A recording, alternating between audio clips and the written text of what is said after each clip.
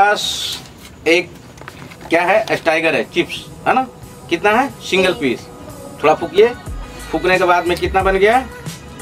To दो piece बना है ना? अब दो पीस को एक पीस को हम कहाँ रखें? यहाँ।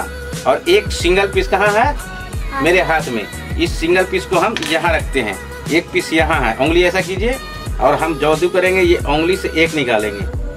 तो ये यहाँ पर एक फिर इसमें डाल रहे हैं। तो यहाँ कितना पीस हो गया? दो। दो पीस हो गया ठीक है? और एक हम डालते हैं तो कितना हो जाता है? तीन। तीन। अच्छा बहुत अच्छा। अब तीन में से हम एक निकाल देंगे। सिंगल पीस को हम निकाल देते हैं। तो यहाँ कितना बचेगा? तीन। दो। दो बचेगा। थोड़ा सा फूक मारो इसमें। फूकने के बाद ये दोनों भैंस गायब हो गया। सिंगल पीस बचा।